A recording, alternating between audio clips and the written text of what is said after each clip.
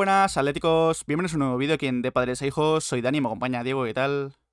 Muy buenas, Dani. Buenas, Dangarcán, Susfran, Pacrito, Jesús, ¿qué tal? ¿Cómo estáis? Vamos con la previa del derby madrileño. Atlético de Madrid, Real Madrid, mañana domingo en el Metropolitano a las 9 de la noche. Y bueno, un derby que, como todos los derbis, se va calentando en las horas previas al partido, en los días previos, con esto del concierto que se ha cancelado en el descanso, con el tema, ya sabéis, eh, de todos los años, de Vinicius, de incluso las mascarillas, que creo que los medios lo han llevado por otro lado, que en un principio eh, no iba a ser así. Pero nosotros aquí hemos venido a centrarnos en el fútbol, en cómo llegan ambos equipos, tanto el Atlético de Madrid después de la victoria del otro día en Balaídos ante el Celta, como el Real Madrid, que es verdad que está sacando los resultados adelante. A mí por lo menos no me está terminando de convencer el juego del Real Madrid. Creo que muchos partidos los ha sacado adelante pues por calidad individual, lo que creo que puede ser un derby bastante igualado el de mañana y que además el Atlético de Madrid si gana adelanta al Real Madrid en la clasificación, así que tiene mucha importancia este partido y veremos a ver porque el Madrid incluso llega con la baja de Mbappé muy importante. Así que partido interesantísimo, como siempre, es un derby. Interesante y muy importante para seguir adelante en la liga después de esa victoria en los últimos minutos con el gol de, Julián Álvarez, un partido que no pudimos traer en el análisis por las razones, las razones que, os comentamos, pero ya vuelve el canal a la normalidad y ojalá el Atleti pueda hacer mañana un buen partido y lo más importante, llevarse los tres puntos. Esos tres puntos servirían para adelantar al Real Madrid. También hay que ver lo que hace hoy el Fútbol Club Barcelona en Pamplona y fíjate cómo pueden cambiar las cosas. Mm, de hablar o del discurso de que se ha tirado la liga en septiembre a ganar mañana y oye, otra vez estás ahí arriba el tema es que creo que no hay que entrar en ese tipo de, discursos, ni un día son buenísimos, ni un día son malísimos, ni un día se va a ganar la liga, ni el otro día se va a perder. O se ha tirado la, liga, hay que ir poco a poco y ojalá el Atleti se pueda ir encontrando, tener las cosas claras, que entramos de, en esta temporada lo, lo hemos visto, que el Atleti ha jugado bien, el partido contra el Celta Costó mucho, igual que el otro día contra el Rayo Vallecano, pero ojalá el Atleti poco a poco se vaya encontrando. Están empezando a carburar los nuevos fichajes, que es algo vital, porque eran las personas o los futbolistas que venían a, a, cambiar un poco lo visto en las temporadas pasadas. Esto es muy largo, tampoco va a ser determinante, pero creo que ganar en el día de mañana es vital para el tema de la liga o importante, lo que hemos dicho, no, va a cambiar absolutamente nada porque todo esto es muy largo, pero sí que es muy importante en el, también en el aspecto emocional que ganar siempre al Real Madrid, llevarse un derby es, es muy gratificante y ojalá mañana sea así.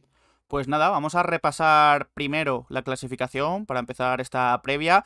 Porque ya decimos, es el duelo entre segundo y tercero. Si el Atlético de Madrid gana, adelanta al Real Madrid. El Real Madrid llega segundo en la clasificación, con 5 victorias, 2 empates. Son 17 eh, puntos en total, 16 goles a favor y solo 5 en contra. El Atlético mejora incluso los números defensivos, tanto de Fútbol Club Barcelona como de Real Madrid. Son solo los 3 goles que ha recibido esta temporada en la liga. 11 goles a favor, suma 15 puntos con 4 victorias, 3 empates. Los dos equipos llegan invictos. Como digo, creo que puede ser un partido muy igualado. El Atlético de Madrid, es verdad que estos dos últimos partidos en Vallecas ante el Celta, pues no desplegó su mejor fútbol, pero a mí sí que me está convenciendo en cuanto a rendimiento inmediato de muchos fichajes, eh, de juego, incluso en algunos partidos el Atleti eh, pues ha sido muy superior a sus rivales, mientras que el Real Madrid, pues es verdad que tiene toda la, todas las estrellas que tiene con Mbappé, que ahora está lesionado, Vinicius, Rodrigo, Bellingham, etcétera, pero que creo que está creo, jugando peor al fútbol de lo que jugó la temporada pasada, aunque las bajas que tuvo la temporada pasada. Es por ello que creo que puede ser un partido muy, muy igualado. Quizás incluso lo más probable para muchos puede llegar a ser el empate, pero el Atlético Madrid obviamente tiene que salir a ganar para adelantar en la clasificación al Real Madrid. Hombre, luego también están los antecedentes del año pasado. Si hubo un equipo que compitió al Real Madrid en una temporada prácticamente perfecta de ellos, fue el Atleti, que tiene ese balance positivo. Creo que fueron dos victorias, un empate en, Liga en la vuelta y luego esa derrota en los últimos minutos de, la Supercopa de, España. Compitió muy bien el Atlético de Madrid ante el Real Madrid y son partidos también que el factor individual va a estar ahí. El Real Madrid tiene muy buenos futbolistas, ojalá el Atleti también pueda tirar de, ese factor y estamos viviendo un Atlético de Madrid que a diferencia del año pasado ha recuperado una solidez defensiva que llevaba tiempo sin tener. El otro día en Balaídos en gran parte el Atleti consigue puntuar y llevarse esos tres puntos por, por, la defensa y principalmente por, por Jan Oblak, que hizo un auténtico partidazo. Fueron paradas de, muchísimo mérito del esloveno, que estamos viendo una grandísima versión y son tres goles en siete jornadas. Igual está fallando un poco lo de arriba, falta esa dinamita, pero poco a poco ojalá se, se empiecen a enchufar. Mm, necesitamos más de, de Sorlot, que el otro día en, en Vigo estuvo mucho más perdido, pero Julián ha conseguido marcar y necesita esa liberación porque está teniendo ocasiones Julián Álvarez y a ver si empieza a enchufar esas ocasiones y yo creo que, es al final lo, lo, de todos los delanteros. Una vez que entra el primero, viene el segundo y ya va todo de, corrido y si el Atlético Madrid consigue volver a tener igual la puntería que tuvo la, temporada pasada en el primer tramo, en la primera vuelta, y eso lo junta con la solidez defensiva, creo que lo demás va a venir todo rodado. Y mañana eso, de ganar, el Atleti se pone por encima del Real Madrid. Pues nada, vamos a ver cómo llega el Real Madrid cómo viene jugando el equipo de Ancelotti, porque el último partido fue, bueno, estos últimos días, el martes pasado, Real Madrid 3 a la vez 2, goles del Madrid fueron de Lucas Vázquez, Mbappé y Rodrigo, y vemos que esta temporada sí que está jugando con el 4-3-3. El año pasado Ancelotti apostó más por un 4-4-2, al principio un poco más en rombo, después un 4-4-2 más tradicional, con dos líneas de 4 y dos, de, y dos delanteros arriba, pero esta temporada con la llegada de Mbappé, que creo que era la pieza arriba de delantero que le faltaba, sí que está apostando por él como delantero fijo, con Vinicius y Rodrigo en bandas, y luego Chuamení y Valverde están siendo insustituibles. Eh, Bellingham es verdad que ha sufrido la lesión, pero sano también es una de las estrellas de este Real Madrid, y atrás, pues la defensa, eh, sobre todo con Rodrigo y con Militao, creo que son dos de los mejores centrales a día de hoy en el fútbol mundial. El otro día descansó Carvajal en el lateral derecho, entró Lucas Vázquez, que además, como he dicho, marcó al primer minuto de partido ante el Alavés, pero hay que decir que en ese partido Mbappé pidió el cambio, se lesionó, tiene una lesión muscular, va a estar tres semanas de baja y es una baja importantísima para el Real Madrid que le va a hacer a Ancelotti seguramente cambiar el sistema y volver a ese 4-4-2 que he comentado antes que, con el que jugó la temporada pasada. Esto daría entrada a Modric seguramente en el centro del campo, aunque también cabe la posibilidad de que pueda entrar, por ejemplo, Arda Guller, eh, moviendo a Bellingham en ese interior izquierdo, a Fede Valverde en el interior derecho y con Vinicius y Rodrigo arriba como los dos únicos puntas. Volvería Carvajal al lateral derecho después del descanso del otro día ante el Alavés porque la otra opción quizás es volver, eh, seguir con el 4-3-3 con Hendrik de delantero como sustituto natural de Mbappé. Sin embargo, todos los medios hablan de que esta opción es mucho menos probable, que lo más eh, seguro es que entre Modric al centro del campo y volvamos a ver este 4-4-2 del Real Madrid. Bueno, también podemos ver ese rombo con Chouamini de, de pivote, luego como interiores Valverde y Modric y de enganche Bellingham el otro día consiguió esa victoria frente al Alavés, no falta de, polémica con esa no expulsión de, de Hendrik, esa patada a un ex Atlético que se ha ido traspasado en este mercado, aunque el Atleti se guarda una opción de compra como es Mourinho, también Vinicius estuvo ahí rozando la, expulsión, finalmente ninguno de, los dos fue, expulsado, no, no vio la tarjeta roja y acabó en esos minutos sufriendo algo con, con ese doblete, vamos, esos dos goles en los minutos finales por parte de, del Alavés y la baja de, Mbappé condiciona de esa forma al Real Madrid porque venía jugando, estaba empezando a marcar goles, igual no estaba teniendo mucha regularidad en, el juego, pero estaba empezando a tener cifras y lo de siempre que decimos con el Real Madrid. Al final son dos equipos que se conocen más que de sobra. El año pasado encima jugamos bastante frente a ellos, los dos partidos de liga, la eliminatoria de, Copa del Rey que venció el Atlético Madrid, un grandísimo partido de, ambos equipos y luego esa Supercopa de, de, España, así que con otros equipos no conocemos tanto, pero al Real Madrid yo creo que, que de sobra y pasamos a lo que nos importa, que es el Atleti, lo que puede sacar Simeone, que con el tema de tan pocas horas de descanso tener partidos tan apretados, hemos visto futbolistas que seguramente sean titulares en el día de mañana que hayan tenido que tener trabajo individualizado porque la carga y, y, sobre todo esa sobrecarga se empieza a notar en ellos. También decir por parte del Real Madrid que está, yo creo, echando mucho de menos a Cross, porque estamos viendo a un Real Madrid que en el centro del campo le cuesta sacar el balón, le cuesta pues dirigir los partidos y ahí Cross creo que puede ser también otra baja más, aunque ya la conocíamos por su retirada, para el derby, que es importantísima y que ahí el Atlético de Madrid puede notarlo eh, para intentar ganar el centro del campo. Pues nada, vamos ya directamente con el Atlético de Madrid, no sin antes recordaros que si os está gustando esta previa podéis dejar un like, darle al botón de suscribirse y a la campanita para que os lleguen las notificaciones cada vez que subimos vídeo de padres e hijos y estar al tanto de toda la información del Atlético de Madrid. Vamos a ver primero, antes de ver un posible 11 del Atleti, imágenes de, los, eh, de las dos últimas sesiones de entrenamiento. Aquí vemos a Simeone en, en el entrenamiento de ayer, ayer viernes, con los titulares del partido ante el Celta con recuperación en el gimnasio. O Black fue el único de esos titulares que trabajó sobre el césped. Lemar y De Paul, que eran un poco los futbolistas antes de ese partido ante el Celta, eh, y ante el Rayo Vallecano incluso la semana pasada, que estaban un poco en duda, pues no han tenido ningún problema. Aquí los vemos a Lemar sobre todo con el grupo y las bajas de Azpilicueta y Pablo Barrios, que no han estado ni en este entrenamiento ni en el de esta mañana, que aquí ya vemos eh, las imágenes, que es verdad, como decía Diego, con la acumulación de partidos no hemos podido ver, o si bien no ha ensayado un 11, pero sí que es verdad que ha dejado algún que otro detalle, como por ejemplo que Gallagher, Lenormand, Marcos Llorente, Jiménez y Reinildo han entrenado a un menor ritmo de trabajo eh, que sus compañeros, con un trabajo específico. Así que yo creo que esto también da muchas pistas de que son cinco futbolistas importantísimos. Creo que van a ser titulares. De hecho, yo creo que vamos a ir directamente con el 11 eh, posible del Atlético de Madrid porque ya digo que no han ensayado nada, pero he ido viendo también las opiniones de muchos aficionados del Atlético de Madrid. As incluso esta mañana ha sacado un artículo hablando de un posible 11 y la verdad es que recogiendo toda esa información creo que es bastante probable este que vemos en pantalla, este que sea eh, el 11 del derby para mañana, con Oblak en portería, Lenormand, Jiménez y Reinildo en línea de tres centrales, con Marcos Llorente volviendo al carril derecho. La única duda que comentaban en As era en el carril izquierdo si Riquelme o Samuel Lino, hay que decir que el brasileño pues no ha empezado del todo bien la temporada con el Atlético de Madrid y Riquelme, creo que el otro día ante el Celta cuando salió mejoró un poco eh, al equipo, así que veremos a ver por quién se decide eh, Diego Pablo Simeone, con Coque de Poli Gallagher creo que con el objetivo sobre todo de hacerse con ese centro del campo que ya hemos comentado antes eh, que iba a sacar el Real Madrid y arriba Griezmann y Julián Álvarez. Eh, aquí quizás la principal duda es si Sorloz va a, pensar, va a empezar en el banquillo y va a apostar así eh, por la delantera Simeone o si de verdad va a juntar por fin a los tres arriba, a Griezmann, a Julián y a Sorloz, pero es que creo que si no lo ha hecho aún como titulares en un partido, veo muy difícil que lo haga en todo un derby.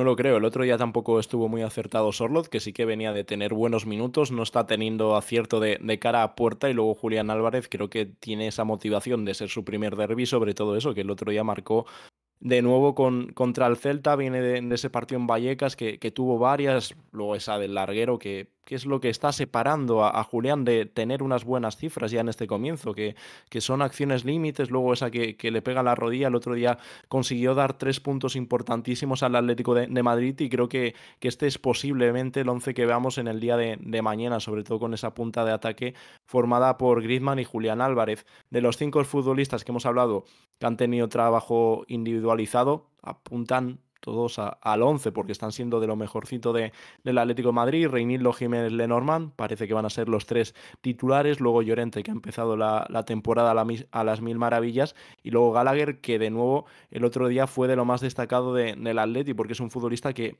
aparte que abarca todo el centro del campo, se nota que juega a un ritmo totalmente distinto al resto, que lleva muchísimo tiempo jugando en el Atlético Madrid, fuerza un montón de, de faltas y también desde que ha empezado a tener continuidad, creo que nos está sorprendiendo a todos muchísimo. La duda, igual en ese carril izquierdo, si puede jugar Riquelme o lo puede hacer Samuelino en otro momento, en la temporada pasada creo que estaría clarísimo, sería el brasileño, pero hay que decir que no ha empezado bien esta temporada, luego eh, vamos, eh, el otro día Riquelme contra el Celta tuvo esa buena ocasión que hace una magnífica parada Guaita abajo. De los pocos acercamientos que tuvo el Atleti, una de esas ocasiones fue por parte de, Rodrigo Riquelme antes del gol de, de, Julián Álvarez. Y yo creo que ahí estaría la principal duda de Paul. Viene de tener trabajo individualizado, de estar un poco más apartado del equipo, pero creo que en estos partidos puede ser importante tener a Rodrigo de Paul y que sobre todo intente ayudar al equipo en algo que ha tenido problemas tanto contra el Celta como contra el Rayo, que es la salida de, balón. Le está costando mucho al Atlético de Madrid tener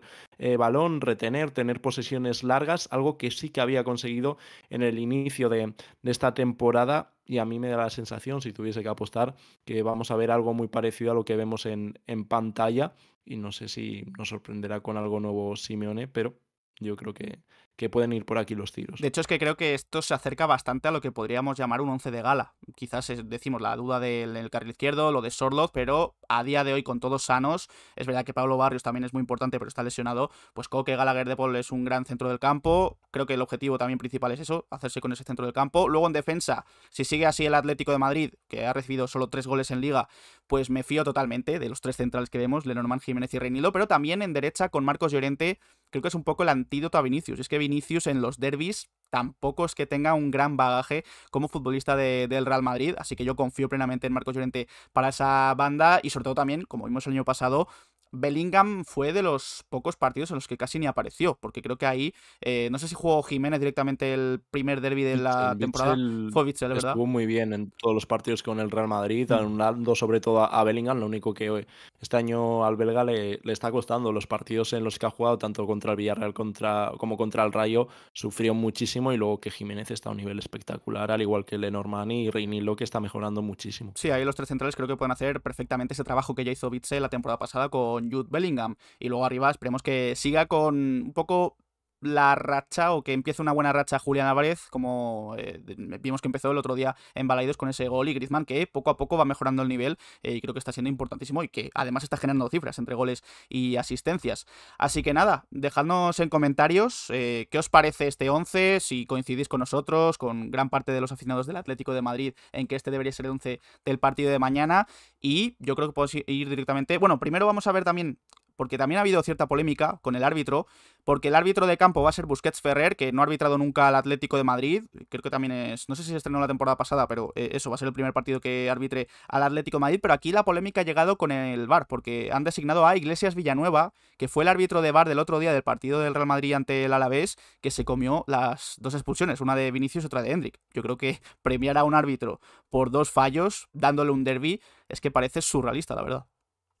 Bueno, creo que las de Vinicius ahí el VAR no tiene que entrar, pero la de Hendrik debería haber entrado, al menos bajo mi punto de vista. Es, es una agresión, ahí tiene que entrar el VAR porque el, árbitro puede apreciar que es un forcejeo, pero ahí hay algo más. Es una acción sin balón, una patada que no tiene ningún tipo de, de sentido y sí, es algo llamativo, pero bueno, ya sabemos cómo funcionan las cosas o, vamos, que tampoco es una gran sorpresa y la polémica ya empieza antes del partido. Pues nada, vamos ya directamente ahora sí con la rueda de prensa de Diego Pablo Simeone. Como siempre, todas las ruedas de prensa son interesantes, más aún cuando es un derby, así que vamos a escuchar ya al solo.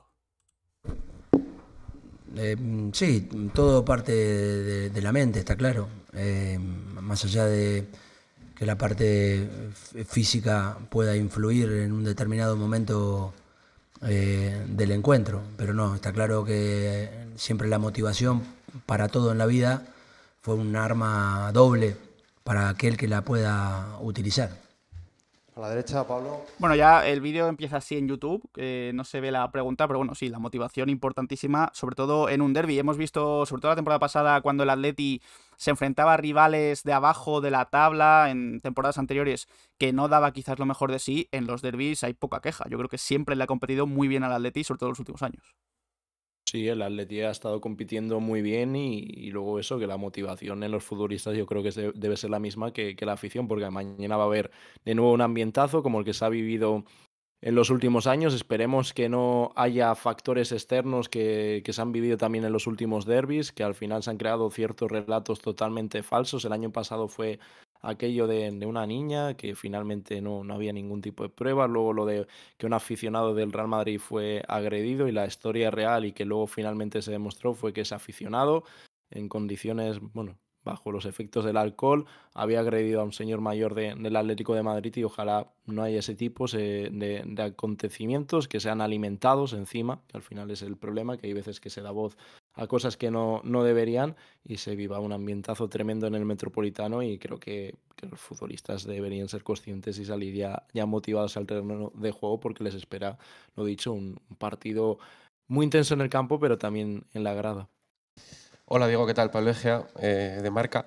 Te quería preguntar, eh, como personaje de dentro del fútbol, sobre todo de, de cara a estos partidos, si a los que estáis dentro eh, os cansa un poco siempre estas polémicas artificiales que se crean siempre antes de partidos tan importantes como, como el de mañana y no se centra tanto en un espectáculo como es el partido de mañana. Gracias. bueno, la verdad que yo me, alejo bastante de, todo lo que no influya dentro de de lo que nos importa, que es pensar en mm, cómo preparar el partido, cómo lleguen los chicos de la mejor manera, cómo seguir en la línea cual, estamos. Y a partir de ahí eh, me manejo, no estoy pendiente de todo lo que se pueda comentar o lo que puedan decir, porque entiendo que obviamente hay que vender siempre el producto partido, el producto derby, el producto eh, eh, venta hacia el exterior de lo que va a pasar con todos los futbolistas buenos que hay dentro del campo, pero bueno, esa es parte de ustedes. Es normal que, que aparezca y nosotros creo que tanto los futbolistas como los entrenadores no tenemos que eh, solamente meter en lo que nos importa, que es lo que tenemos que hacer cada uno desde su lugar el día de mañana. Al fondo a la derecha. Es que si ya es caliente un derby de por sí, lo que hacen muchísimos medios españoles eh, aquí, em, por ejemplo, hace, bueno, hace un par de temporadas fue, o la temporada pasada, lo de las palabras de Coque, que no dijo nada fuera de lo normal, pero ya se tergiversó que Vinicius no podía bailar para celebrar eh, un gol en el Metropolitano. Este año ha tocado que el Atleti, dicen, ha cancelado un concierto de Dana Paola, una cantante que de hecho iba a cantar en el descanso del derby, que a mí me parece ya extraño de por sí, pues parece, dicen algunos medios, que lo ha cancelado el Atleti por ella decir que es del Real Madrid, cuando también han comentado en marca no, que es que es complicado hacer un concierto en un partido así en un descanso. También el tema de las mascarillas, que muchos medios dicen que es para insultar a Vinicius sin que se sepa quién ha sido. Me parece que aquí el trabajo de los medios está dejando mucho que desear. Ha salido hace poco, hace pocas horas, eh, un comunicado de la liga que van a anunciar eh, cualquier campaña de odio. Creo que ahí se tienen que centrar también en los medios de comunicación, que creo que amplifican y tergiversan muchas cosas que no son reales y que hacen que el partido se caliente de una forma artificial directamente. Por supuesto, y justo antes lo, hemos comentado en la pregunta anterior, también polémicas que surgen después del partido, que al final si ocurre algo me parece bien, pero el tema de inventarse cosas no, no, tiene ningún tipo de sentido y en los últimos años ha sido una dinámica habitual. Lo de Coque ya fue surrealista porque interpretar eso de las palabras del capitán es de ser una persona no muy inteligente y sobre todo eso que, que busca es crear un conflicto de una situación en la que no, no hay absolutamente nada que, que sacar, pero lo dicho, al final es no comprar esos relatos, si lo quiere comprar la gente de fuera, pues que, que lo compre, pasas de, de, ellos y ya está, y eso, mañana la gente va a ir a disfrutar de, de su equipo, que es el Atleti, y fuera de ahí muchas cosas, pues eso, van a intentar sacar por donde sea, pero bueno, ya sabemos cómo funciona esto. Silvia, Silvia Barba de Televisión Española, Mister. A estas alturas y con todo lo que hablamos, ¿Está usted nervioso antes de un partido como el de mañana? Muchas gracias. Siempre estoy nervioso, siempre estoy ansioso, nervioso, con miedo, con, alegría, con ilusión, con expectativas. Son todas, todas las emociones que, que me genera un partido. Desde que llegué al Atlético de Madrid el primer día en Málaga, no me cambia absolutamente nada de lo que me pasa hoy. No vamos a descubrir a Simeone a estas alturas. Eh, creo que está igual de nervioso mañana en el derby que cualquier partido de liga, porque es solo verle en el campo, en la línea de, fondo, de, banda. Mm, no para en todo el partido y mañana pues no va a ser la excepción. Mañana más aún. Mm. El centro. ¿Qué tal, Cholo? Iñaki Villalón para el chiringuito. Eh, uno siendo el mínimo y diez siendo el máximo. Del 1 al 10, ¿cómo de importante es para ti este partido de cara al devenir de la temporada? Gracias. A ver, si esta pregunta me la volvés a hacer el partido contra el Benfica y me la volvés a hacer el partido con la Real Sociedad, te la respondería a las tres preguntas. No me lo vas a preguntar, pero bueno, te lo agrego. Eh, siempre, cada partido es un 10. No hay, no hay un 7 en cada partido. Cada 10, cada partido, la importancia que tiene es un 10. Javier si decíamos que estaba igual de nervioso en todos los partidos, esto es igual. O sea, el partido a partido se basa en eso, dar la importancia, toda la importancia al partido que vas a jugar. Mañana toca el derby, pero si toca otro equipo, pues daríamos el 10 igual. Y eso es lo, que debe recuperar el Atleti, porque el otro día contra el Rayo se vio también igual la dificultad que va a tener el Atleti de, hacer rotaciones. Al final puede haber ciertos cambios en la plantilla, pero se van a tener que plantear si quieres competir y no caerte de la liga, ir a tope con, con, lo máximo y hasta que aguante el equipo, que al final analizas la, la, temporada de la primera liga con Simeone y fue así, aguantar con un grupo hasta que no pudieron más y la suerte que hubo que, que se pudo mantener esa diferencia en liga, sufriendo en, en, el Camp Nou, luego en Champions pues se llegó muy, muy forzado, pero mismamente en la última liga también, si vemos el 11 del Atlético Madrid, era un 11 prácticamente común todas las, las jornadas y eso es lo que necesita el Atlético, lo que hemos dicho al principio del vídeo, mañana es un partido importantísimo, pero que no va a cambiar absolutamente nada. Bueno, si ganas, adelantas al Real Madrid, pero mañana ni se va a ganar la liga, ni se va a dar un golpe sobre la mesa, y en caso de perder, que esperemos que no, yo creo que nadie está pensando en eso ahora mismo, no se va a perder ni la liga ni, se tira absolutamente nada. Por eso comentábamos antes que no, no puede ser que, cada que después de cada partido sea blanco o sea negro. Hola, mister. Javier de Diego, Radio Nacional de España. Desde que llegaste al club es un hecho, ¿no? Son números que se han equilibrado mucho los números con el Madrid. Yo te quería preguntar en qué radica o cuál es la clave para que haya pasado eso y se haya equilibrado tanto las cifras ahora con el, con el Madrid. Gracias. Bueno, creo que desde mi llegada a este momento ha cambiado mucho todo. Entonces, esta es una parte también de la que ha mejorado. Y por eso el club crece como ha crecido, por eso el equipo está en el lugar donde está, por eso el equipo se lo exige como se lo exige. Y bueno, hay que aceptar este crecimiento que hemos tenido todos desde mi llegada al día de hoy y evidentemente se evidencia en esta situación que es una más de un montón que podemos comentar. Hola, yo creo que lo que ha propuesto Simeone nada más llegar al Atleti, lo que propuso el primer día es el gen competitivo. Em, antes de la llegada de Simeone, pues ir a un derby era derrota segura, porque incluso ya sacaban esa pancarta, recuerdo de se busca rival digno para derby decente, fue llegar Simeone, le imprimió ese gen competitivo y mira cómo ha cambiado la cosa, que hemos jugado contra ellos dos finales de Champions. ¿Quién hubiera imaginado en nuestra historia que íbamos a jugar dos finales de Champions contra el Real Madrid? Que hemos estado muy cerca de, ganarlas. Una se pierde en el descuento y otra, eh, bueno, empatan en el descuento y la otra en la tanda de penaltis es cuando se pierde. Yo creo que esto incluso, bueno, además de beneficiar obviamente a la liga y al propio derby en sí, pues oye, pues imprime algo de, pasión por estos partidos que antes no había, antes de la llegada de Simeone. Y creo que incluso a los madridistas le debería gustar que, que Simeone esté en el Atlético de Madrid, porque antes un derbi era eso, era pues más que una pachanga para el Real Madrid. Ahora es que es todo lo contrario. Estamos hablando, obviamente, del siglo XXI. En el siglo XX, el Atlético de Madrid tiene una historia y unos antecedentes totalmente contrarios con el Real Madrid, pero la realidad era es que antes de, de la llegada de Simeone en el siglo XXI, nosotros, en nuestro caso, no vimos ganar al Atlético Madrid al Real Madrid hasta que llegó Simeone al, al Atleti y gana el Real Madrid una final en el Santiago Bernabéu. A partir de ahí creo que se han igualado muchísimo más las cosas. Obviamente sigue habiendo una diferencia de las plantillas, pero mismamente el año pasado el balance positivo es para el Atlético Madrid, que consigue en cuatro partidos dos victorias y, un empate, y luego esa derrota en la Supercopa de, Europa, y ahora cada vez que juegas contra el Real Madrid confías en, que vas a ganar. No era como antes que bueno, pues jugabas contra el Real Madrid y ya ibas un poco con la mentalidad de que no se podía hacer nada. Ahora yo mañana voy convencido de, que el Atleti saca los tres puntos. Diego, eh, Marcos Durán para relevo. El otro día hiciste mucho hincapié en las sociedades ofensivas. Mm. Dijiste, en la parte defensiva estamos trabajando, pero quiero trabajar en esto. Obviamente la parte ofensiva es más complicado trabajarla porque influye la calidad, influye en los jugadores.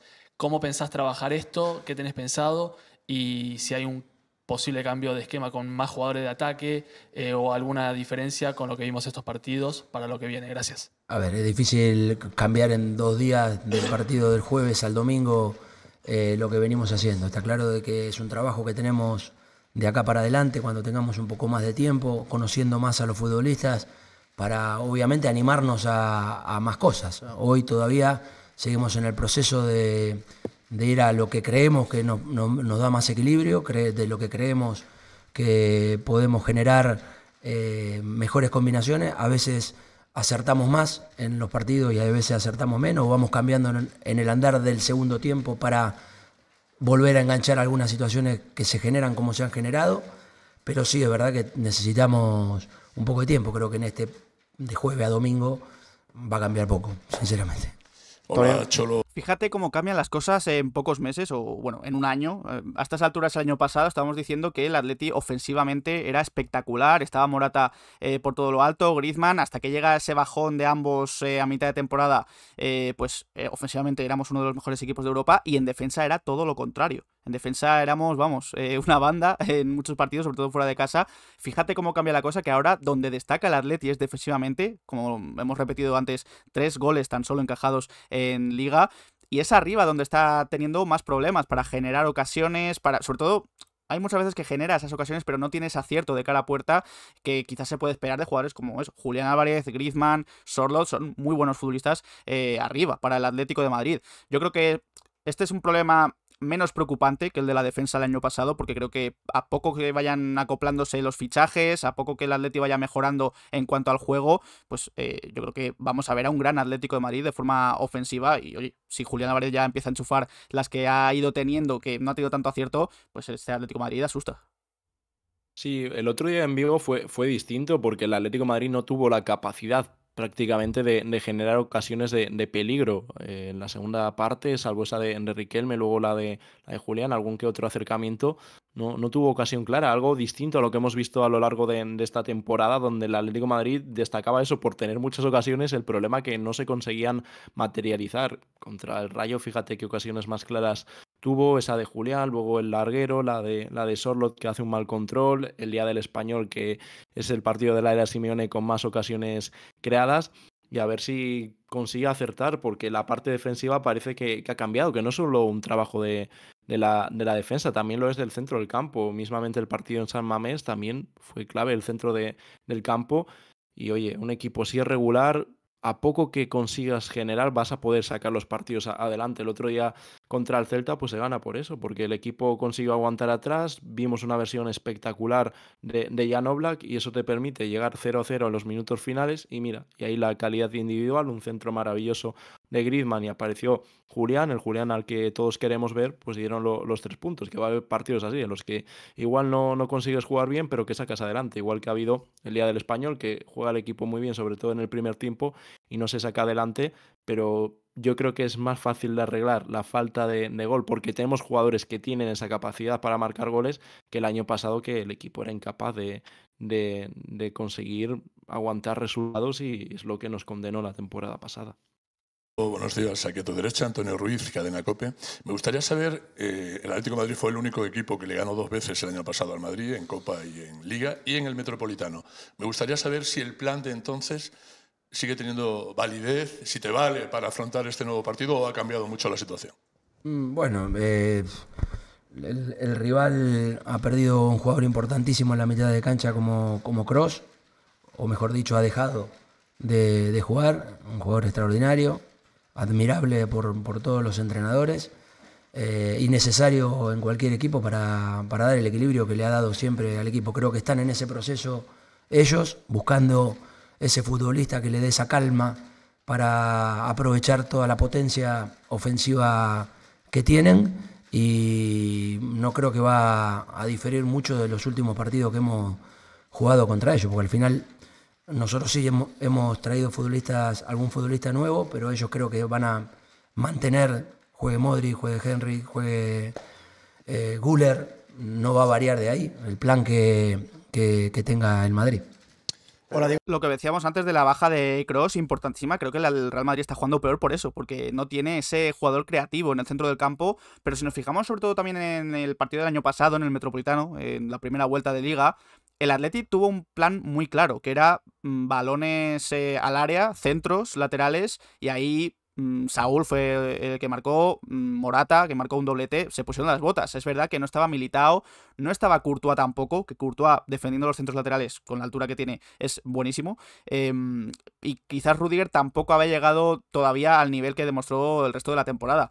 Creo que ahí el Atlético Madrid no va a poder hacer lo mismo, porque ya no tiene a Morata, Sorlot si sale, del, si sale como suplente, pues falta esa capacidad por arriba y el Atlético Madrid creo que va a tener que hacer pues un partido como viene haciendo en los buenos partidos que está haciendo esta temporada, que es eh, recuperar en eh, alto, hacer una buena presión, jugar rápido, que creo que tiene jugadores para ello, eh, llegar desde segunda línea con Gallagher sobre todo también, con Griezmann jugando de forma muy creativa, creo que tiene que jugar algo diferente a lo que vimos el año pasado. Y luego también hay que ver a lo que quiere jugar el Real Madrid. Mm, un poco el Real Madrid yo creo que ha coincidido un poco en todos los partidos contra el Atleti, igual cambia un poco más en, en el Bernabéu, pero en los partidos en el Metropolitano estamos viendo una dinámica parecida, que la del Madrid es aguantar, intentar hacer un partido largo y arriba tiene futbolistas muy rápidos, como puede ser Vinicius, no está Mbappé, pero sí que estará Rodrigo, tiene muchas piernas también en el centro del campo, con Bellingham, Valverde, que aparte de, ser jugadores muy físicos también son, son veloces, que tienen llegada, eso es algo que intentarán aprovechar, por eso que, que igual al que le toca proponer es al Atlético de, Madrid y el Atlético también intentará buscar hacer daño al Real Madrid, pero yo creo o me espero un Real Madrid replegado y es un poco lo, lo, que hemos visto y creo que el planteamiento debe ser parecido al de anteriores temporadas. Luego cada partido es un mundo, pero también creo que el Atleti ha ganado futbolistas que pueden ser muy importantes en este tipo de, de choques, como puede ser Lenormand, Gallagher en el centro de, del campo, que parece que va a estar en el día de mañana sin problema, aparte de ese trabajo individualizado, ha conseguido calidad eh, con Julián, Sorlot no apunta al 11, pero también puede ser importante en el segundo tiempo y ahí habrá que ver un poco con lo que plantea el Real Madrid, a ver lo que puede hacer el Atlético de Madrid, pero creo que el año pasado en todos los partidos se, demostró muchas cosas, se demostraron muchísimas cosas, sobre todo el partido de Copa. Yo creo que fue el mejor enfrentamiento entre ambos, luego también fue tirando de épica con, con la prórroga y demás, pero fue un fantástico partido. Pedro Follana de la cadena SER. Se habló mucho cuando salieron los horarios de los dos días menos de descanso. Acaba de decir Ancelotti que entiende las quejas del Atlético de Madrid. A mí me gustaría saber si has podido preparar el partido como otro cualquiera de una semana y en qué medida os ha afectado y os puede afectar mañana. No, nosotros no, no mido absolutamente el tiempo, aceptamos lo que hay. Eh, ya lo decíamos hace un montón cuando nos mandaron a jugar con el Bilbao la semifinal, que a nadie le importaba, a nosotros sí nos importaba y jugamos ellos con cinco días y nosotros con dos días. Y no se, no se acuerda a nadie, no le importa a nadie lo que pasó en el primer partido. Pero bueno, a partir de ahí no me preocupa absolutamente si nos mandan a jugar cada dos días, tres días, un día, cinco días. Hay gente que trabaja muy bien y bueno, eh, hay que respetar su trabajo porque hacen las cosas muy bien. Última pregunta. Y el Simeone más irónico, ¿no? Eh, es que no podemos decir más. O sea, el horario, mm, el Atleti ya se ha quejado. Tebas, eh, pues lo dijo en, la presentación de, Panini. Eh, sobre todo por el tema de jugar siempre a las 9 y este tema de, dos días más de descanso del Real Madrid. Simeone tira de ironía, pero es que es que poco más se puede hacer. Es que al final los que mandan son los que ponen los horarios y el Atlético de Madrid tendrá que adaptarse y es creo lo que ha hecho durante el verano, traer más jugadores eh, competitivos que den más fondo de armario del que teníamos la temporada pasada. No sé, aquí no, no lo puede dejar más claro, también haciendo ironía con, tirando de ironía con, con esas palabras hacia el buen trabajo de, de la liga, pero al final, ¿qué, ¿qué, vas a hacer? Obviamente, la respuesta es un no. Obviamente no, no ha preparado el partido como, como le hubiese gustado, lo hemos comentado antes. Gallagher, Jiménez, Lenormand, Reinildo, Marcos Llorente entrenando de manera individual para repartir un poco las cargas, porque la sobrecarga está ahí en los futbolistas y no puedes preparar el partido de, la misma forma, aparte de que el rival viene con, con esas horas extras de, trabajo y sobre todo de descanso, que, que es muy importante, pero al final es lo, lo mismo, igual que con los horarios. Pues el otro día Tebas sale y dice que, que, es algo que cambiará, que no nos podemos quejar porque el año pasado se vio. Y el año pasado se vio que a las 9 fue el horario más habitual, sobre todo en el metropolitano. Un gran porcentaje de los partidos fueron a las 9 de, la noche, pero hay veces que en, en algunos no, no, piensan y aquí creo que simplemente con haber adelantado el partido del Atlético Madrid 24 horas al miércoles, obviamente tiene menos descanso frente que respecto al partido entre el Rayo y el Celta, pero yo creo que habría sido una forma más proporcional, pero no quisieron hacerlo así. Eh, sí, mister. El Real Madrid mañana tiene la baja de Mbappé. El año pasado no contaba con él y se le ganó con Vinicius y con Rodrigo arriba. Eh, ¿Cómo crees que va a influir eso en el juego del equipo visitante?